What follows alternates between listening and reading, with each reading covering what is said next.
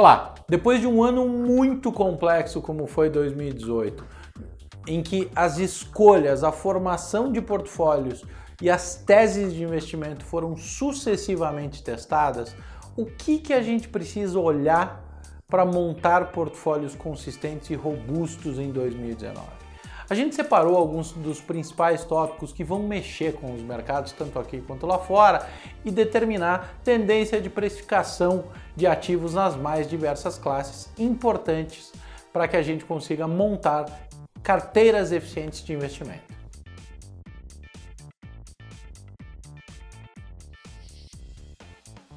Não dá para começar a falar sobre 2019 sem tratar, evidentemente, do desembarque do governo Jair Bolsonaro no Palácio do, do Planalto. Um super ministério comandado por Paulo Guedes tende a determinar os rumos da economia, da relação do governo com as estatais e, da, e do comando do controle das finanças públicas. Assunto tão esquecido por governos recentes e que nos trouxe a um déficit fiscal colossal e uma dificuldade, um senso de urgência nas reformas estruturais muito importante.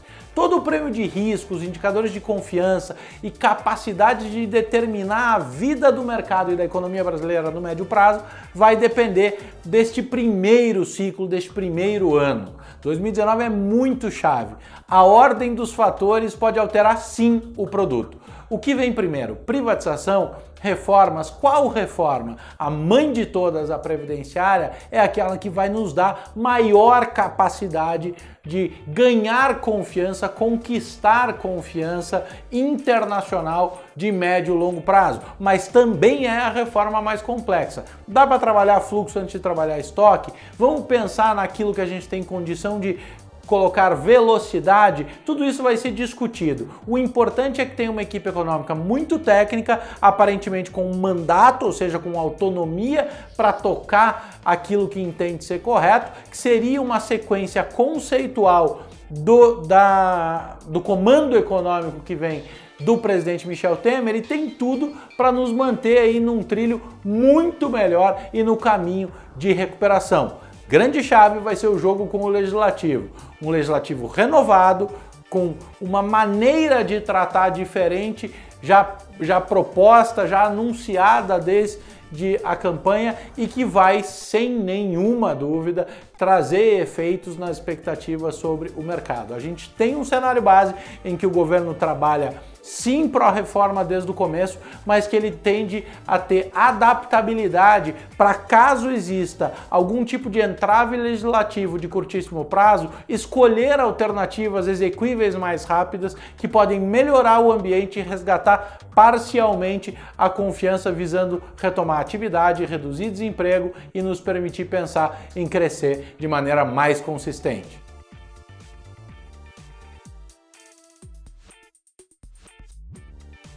2019 traz ou trará um mundo bastante complexo. O xadrez da geopolítica, o tabuleiro do jogo de poder internacional vai estar muito em voga muita mudança. A, a, chamada guerra comercial, que esquentou os ânimos no segundo semestre de 2018, vai ter uma nova etapa, uma evolução das discussões entre Estados Unidos e China, muito mais voltado àquilo que realmente importa, que está além das discussões puramente tarifárias. É um redesenho de poder efetivamente, com diversos aspectos, mercado de energia, petróleo, commodities, produtos acabados e transferência de tecnologia. Os principais pontos de um debate, de uma batalha que tende a refletir as expectativas sobre o crescimento global. O prazo para o Brexit na Europa vai ser encerrado, essa discussão vai ter que ser resolvida, o projeto efetivamente endereçado. Abastecimento de gás na Alemanha a partir de um gasoduto desde a Rússia, coloca países como a Dinamarca em momentos de tomar decisões importantes. Se ela continua muito próxima dos Estados Unidos, parceriza com a Europa ou parece voltar para um lado mais polarizado. É muita confusão ali no meio do caminho, enquanto nos Estados Unidos Donald Trump vai enfrentar pela primeira vez um Congresso ou uma Câmara comandado pelos democratas. Discussões orçamentárias, discussões de prioridade, programas de expansão fiscal e incentivo à economia muito mais difíceis de serem aprovados nos Estados Unidos, ou seja, a economia real, como está, deverá ser capaz de entregar resultados e performances suficientes para que não haja uma, uma preocupação maior de desaquecimento. Estas discussões já aqueceram muito os mercados e já chacoalharam tudo ao final de 2018. Para 2019, a volatilidade tende a marcar os mercados internacionais, muita oscilação de preço em commodities como petróleo, menos um pouco em minério, mas sim, caso exista o, o, o, aumento da pressão nas discussões tarifárias entre Estados Unidos e China, pode sim haver uma pressão relevante sobre commodities metálicas, dado que, dada a correlação que existe entre o nível de atividade chinesa. Mas é importante lembrar que a China, a gente gosta muito de olhar para a geração de riqueza e para o crescimento nominal. O relativo da China, ainda que seja percentualmente menor o crescimento do PIB do que a série histórica, o, a riqueza nominal gerada, ou seja, a, a China crescer 6% em 2019, gera, acrescenta muito mais riqueza do que ela crescer 11% há 5, 6, 7 anos atrás, porque a base é muito maior. Isso tende a ser suficiente para dar uma consistência no nível de atividade do gigante asiático ao longo de 2019. Aqui a gente sente os reflexos principalmente pela nossa relação comercial e internacional e de troca com todos esses países. Qual vai ser a política externa do novo governo? A gente não sabe. O novo chanceler assumiu, dando cara de que vai buscar uma série de novas relações, uma repactuação dos modelos de troca internacionais brasileiros. Quanto isso vai ser rápido, quanto isso vai ser certo, a gente ainda não sabe. E a discussão sobre os efeitos práticos vai ser dada ao longo de 2019. A gente tem muita lição de dentro de casa para fazer para encarar um mundo muito complexo e que muito provavelmente muito pouco vai nos ajudar.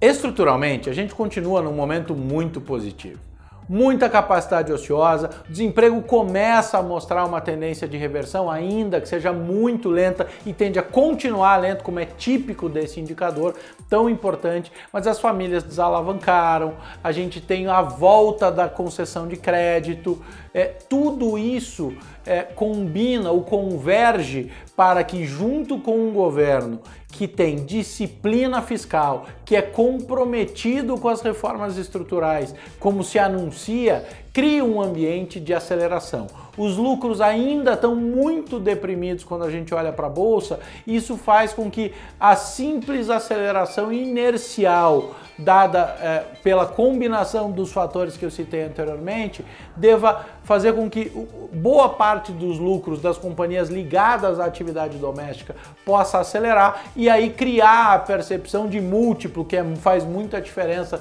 na tomada de decisão do investidor de bolsa, se mostra ainda mais atrativo. A bolsa tem tudo no lugar para ser o, o principal caminho de geração de riqueza, de geração de lucro, de construção de resultado ao longo de 2019. Taxa de juros estruturalmente baixa, inflação sob controle, retomada econômica, lucro da economia real pode refletir em preço das ações. Muita coisa converge para essa visão. Como eu tenho dito, não precisa dar tudo certo, é só não dar muito errado.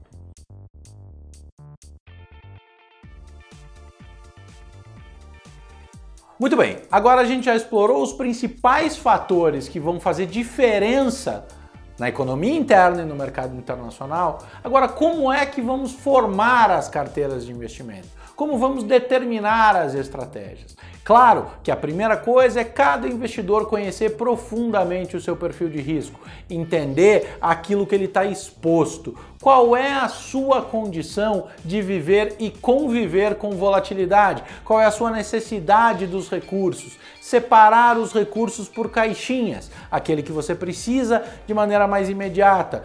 Para esse, existem alternativas e opções bastante interessantes em renda fixa, que evidentemente não são aquelas de grande rentabilidade, mas que sendo bastante inteligente e seletivo, dá para capturar uma performance mesmo nos investimentos de curto prazo e mais conservadores. Para aqueles que têm um pouquinho mais de prazo, tem uma indústria de fundos muito interessante, os multimercados, que a gente leva até vocês uma visão de múltiplas estratégias, ou seja, fundos que investem em juro, em moeda, em ações, mercado nacional, mercado internacional, commodities, tem uma cesta de ativos que se montada de maneira correlacionada ou descorrelacionada para montar um portfólio eficiente pode fazer muita diferença. E para aquele investidor que consegue trabalhar um pedaço desses recursos para o longo prazo, aí sim, aí entra a, a grande oportunidade da bolsa. Escolher ativos, empresas que no mundo real, lembrem, um, um, uma ação não é um código num terminal, é uma fração de uma empresa da qual você será sócio, também dono, independente da parcela, é, enquanto você for acionista da mesma. A visão de longo prazo é muito importante, ou seja, você compra, você escolhe a companhia, escolhe a empresa pelos indicadores, escolhe a empresa é, é, pela performance, pela sua relação com os chamados stakeholders, ou seja, tudo aquilo que cerca a empresa, tudo aquilo que é satélite, clientes, fornecedores, funcionários, é, é, bancos, é, enfim, é, agentes reguladores, tudo aquilo que está ao redor. É muito importante. Mais de 150 companhias analisadas pela maior e melhor equipe de análise do mercado financeiro brasileiro, para levar até vocês a visão de como construir patrimônio, como aproveitar o momento de retomada brasileira nesta parcela dos seus recursos e dos seus investimentos, na qual se pode tomar um pouco mais de risco sem esquecer da seletividade.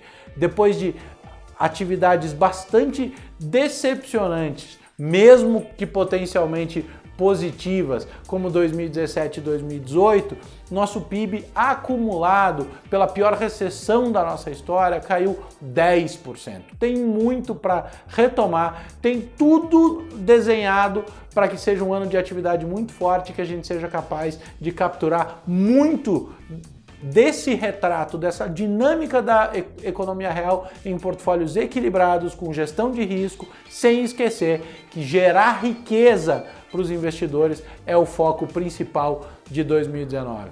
É o ano da retomada econômica, é o ano de capturar performance a partir do benefício estrutural. Muito da performance que conseguimos acumular nos últimos três anos veio a partir é, é, de convivência com uma volatilidade muito brusca.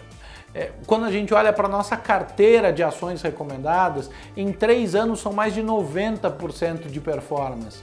É muito bom quando a gente olha para comparáveis como taxa de juro, é, taxa básica de juros e os principais indicadores de renda fixa. Porém, não foi simples, muita volatilidade, muito movimento de sobe e desce. 2019, a gente está olhando para a formação de portfólios talvez menos voláteis para conseguir capturar uma ascendência estrutural, mas é, combinando aquilo que nossa equipe acredita serem os principais vetores de desenvolvimento da economia nacional. Essa é a, é a, primeira mensagem sobre 2019. O ano está chegando e a gente tem muito, muito para construir junto ao longo do ano. E é isso aí caminhando lado a lado, com responsabilidade, com técnica, com inovação, com investimento em todas as soluções para levar a vocês, investidores, o melhor guia do caminho a ser cumprido, a ser trilhado ao longo de 2019 na construção de patrimônio. Um grande abraço a todos e muito obrigado.